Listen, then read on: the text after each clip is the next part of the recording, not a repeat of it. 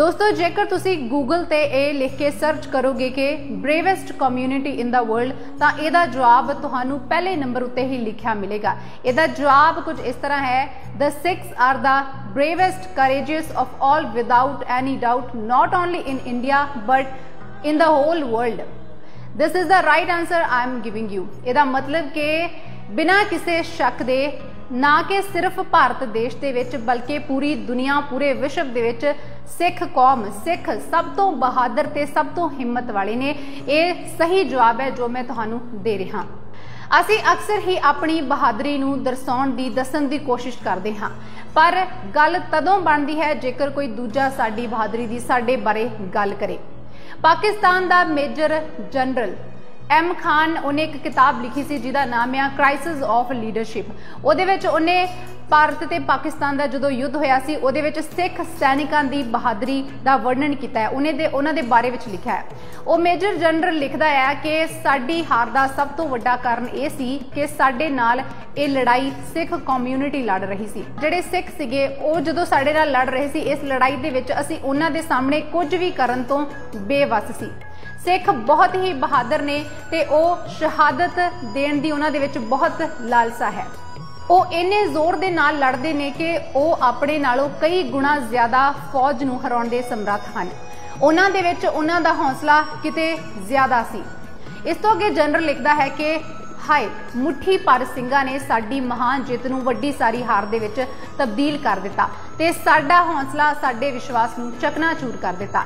ਇਸ ਤੋਂ ਅੱਗੇ ਇਹ ਜਨਰਲ ਜਿਹੜਾ ਆ, ਉਹ ਲਿਖਦਾ ਆ ਕਿ ਇੱਥੇ ਉਹਨੇ ਕੁਝ ਕੁ ਜਿਹੜੇ ਮਹਾਨ ਸਿੱਖ ਨਾਇਕ ਨੇ ਉਹਨਾਂ ਬਾਰੇ ਤੇ ਕੁਝ ਕੁ ਲੜਾਈਆਂ, ਜੋ ਸਿੱਖਾਂ ਦੇ ਨਾਲ ਲੜੀਆਂ ਗਈਆਂ ਨੇ, ਉਹਨਾਂ ਦਾ ਜ਼ਿਕਰ ਕੀਤਾ ਹੈ। ਉਹ ਇਹ ਲਿਖਦਾ ਆ ਕਿ ਸਿੱਖ ਨਾਇਕ ਤੇ ਜਿਹੜੀਆਂ ਲੜਾਈਆਂ ਉਹਨਾਂ ਦੇ ਨਾਲ ਲੜੀਆਂ ਗਈਆਂ ਨੇ, ਉਹ ਅਣਗਿਣਤ ਨੇ, ਪਰ ਫਿਰ ਵੀ ਉਹਨਾਂ ਦੇ ਵਿੱਚੋਂ ਕੁਝ ਕੁ ਦਾ ਉਹਨੇ ਜ਼ਿਕਰ ਕੀਤਾ ਆ।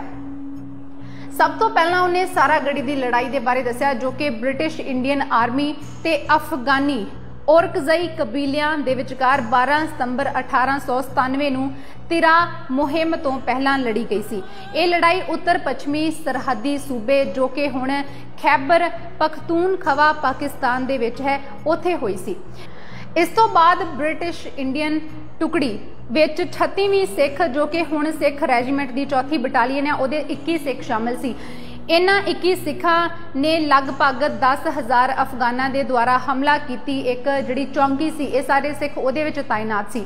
ਤੇ ਇਹਨਾਂ ਦੀ ਅਗਵਾਈ ਕਰ ਰਿਹਾ ਸੀ ਹੌਲਦਾਰ ਈਸ਼ਰ ਸਿੰਘ। ਉਸ ਅਗਵਾਈ, ਉਸ ਹੌਲਦਾਰ ਈਸ਼ਰ ਸਿੰਘ ਦੀ ਅਗਵਾਈ ਦੇ ਵਿੱਚ ਜਿੰਨੇ ਵੀ ਸਿੱਖ ਸੀ, ਇਹਨਾਂ ਨੇ ਲੜ ਕੇ ਮਰਨ ਵਾਸਤੇ ਚੋਣ ਕੀਤੀ ਸੀ। ਜਿਸ ਵਿੱਚ ਕੁਝ ਫੌਜੀ ਇਤਿਹਾਸਕਾਰ ਇਤਿਹਾਸ ਦੇ ਸਭ ਤੋਂ ਵੱਡੇ ਤੇ ਅਖੀਰਲੇ ਮੰਨੇ ਜਾਂਦੇ ਨੇ। ਇਸ ਜਨਰਲ ਖਾਨ ਨੇ ਤਾਂ ਹੁਣ ਦੀ ਜਿਹੜੀ ਗੱਲ ਆ, ਹੁਣ ਦੇ ਇਤਿਹਾਸ ਦੀ ਗੱਲ ਕੀਤੀ, ਸਿੱਖਾਂ ਦੀ, ਸਿੱਖਾਂ ਦੇ ਲੜਾਈਆਂ ਦੀ ਤੇ ਉਹਨਾਂ ਦੇ ਹੌਸਲੇ ਦੀ। ਪਰ ਜੇਕਰ ਪਿਛਲੇ ਸਿੱਖ ਇਤਿਹਾਸ ਦੀ ਗੱਲ ਕਰੀਏ ਤਾਂ ਚਮਕੌਰ ਸਾਹਿਬ ਦੀ ਜੰਗ ਬਾਰੇ ਕੌਣ ਨਹੀਂ ਜਾਣਦਾ। ਕਿੱਥੇ 40 ਸਿੰਘ ਤੇ ਕਿੱਥੇ 10 ਲੱਖ ਜਿਹੜੀ ਮੁਗਲ ਫੌਜ ਸੀ ਉਹ। ਗੁਰੂ ਗੋਬਿੰਦ ਸਿੰਘ ਜੀ ਦਾ ਥਾਪੜਾ ਹੀ ਸੀ ਜੋ ਕਿ 10 ਲੱਖ ਫੌਜ ਦੇ ਨਾਲ ਕੱਲੇ-ਕੱਲੇ ਸਿੰਘ ਨੂੰ ਲੜਾ ਗਿਆ।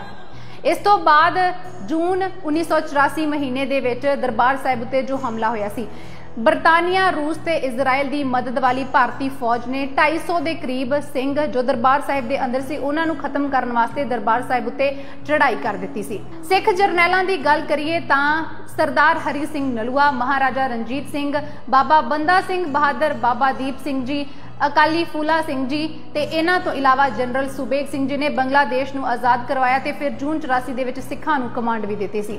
ਇਹਨਾਂ ਤੋਂ ਇਲਾਵਾ ਸਰਦਾਰ ਅਰਜਨ ਸਿੰਘ ਔਲਖ, ਜੋ ਕਿ ਇੰਡੀਅਨ 에ਅਰ ਫੋਰਸ ਦੇ ਵਿੱਚ ਇੱਕ ਫੀਲਡ ਮਾਰਸ਼ਲ ਤੇ ਪਦਮ ਵਿਭੂਸ਼ਣ ਸਨਮਾਨਿਤ ਸੀ। ਇਹ ਜਿਹੜਾ ਅਰਜਨ ਸਿੰਘ ਔਲਖ ਸੀ, ਭਾਰਤੀ ਹਵਾਈ ਸੈਨਾ ਦਾ ਇਕਲੌਤਾ ਅਧਿਕਾਰੀ ਜਿਨੇ ਜਿਹਨੂੰ ਪੰਜ ਤਾਰਾ ਰੈਂਕ ਦੇ ਨਾਲ ਤਰੱਕੀ ਦਿੱਤੀ ਗਈ ਸੀ ਤੇ ਹੋਰ ਵੀ ਕਈ ਸ਼ਾਮਲ ਨੇ। ਇਹ ਜਿਹੜੀ ਸਿੱਖ ਨਾਇਕਾਂ ਦੀ ਤੇ ਲੜਾਈਆਂ ਦੀ ਲਿਸਟ ਆ, ਇਹ ਬਹੁਤ ਲੰਬੀ ਹੈ। ਇਹਨਾਂ ਦੇ ਵਿੱਚੋਂ ਕੁਝ ਕੁ ਦਾ ਜ਼ਿਕਰ ਕੀਤਾ ਹੈ। ਇੱਥੇ ਅਸੀਂ ਸਿੱਖ ਇਤਿਹਾਸ ਜਾਂ ਫਿਰ ਸਿੱਖਾਂ ਦੀ ਬਹਾਦਰੀ ਜਿਹੜੀ ਹੈ, ਉਹਦੀ ਖੁਦ ਤਰਜਮਾਨੀ ਕਰਕੇ ਖੁਦ ਨੂੰ ਬਹਾਦਰ ਨਹੀਂ ਦੱਸ ਰਹੇ, ਜਿਹੜੀ ਸਾਡੇ ਬਾਰੇ ਜਾਂ ਸਿੱਖ ਕੌਮ ਬਾਰੇ ਦੁਨੀਆ ਦੱਸ ਰਹੀ ਹੈ ਕਿ ਸਿੱਖ ਕੌਣ ਨੇ। ਦੁਨੀਆ ਨੂੰ ਤਾਂ ਪਤਾ ਹੈ ਕਿ ਸਿੱਖ ਕੌਮ ਜਾਂ ਸਿੱਖ ਕੌਣ ਹੁੰਦੇ ਨੇ, ਪਰ ਸਾਡੇ ਅੱਜ ਦੇ ਜਿਹੜੇ ਲੋਕ ਆ, ਉਹਨਾਂ ਨੂੰ ਇਸ ਬਾਰੇ ਨਹੀਂ ਪਤਾ, ਉਹ ਇਸ ਬਾਰੇ ਪਤਾ ਨਹੀਂ ਲਾ ਸਕੇ। ਇਹ ਤਰਾਸਦੀ ਹੈ ਸਾਡੀ ਕਿ ਸਾਡੀ ਜਿਹੜੀ ਅੱਜ ਕੱਲ ਦੀ ਪੀੜ੍ਹੀ ਹੈ, ਜਿਹੜੇ ਬੱਚੇ ਆ, ਅਸੀਂ ਉਹਨਾਂ ਨੂੰ ਆਪਣੇ ਇਤਿਹਾਸ ਤੋਂ ਜਾਣੂ ਨਹੀਂ ਕਰਵਾ ਸਕੇ।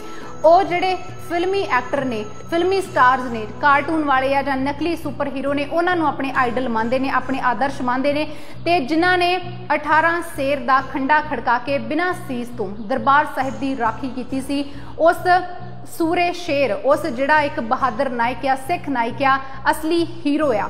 ਉਹਦੇ ਜਦੋਂ ਜਨਮ ਦਿਹਾੜਾ ਹੁੰਦਾ ਆ ਜਾਂ ਕੁਝ ਵੀ ਹੁੰਦਾ ਆ, ਉਹਦੀਆਂ ਸਿਰਫ ਫੋਟੋਆਂ ਸ਼ੇਅਰ ਕਰਕੇ, ਫੋਟੋ ਦੇ ਥੱਲੇ ਕਮੈਂਟ ਵਾਹਿਗੁਰੂ ਲਿਖ ਕੇ ਹੀ ਅਸੀਂ ਸਾਰ ਦਿੰਨੇ ਆ।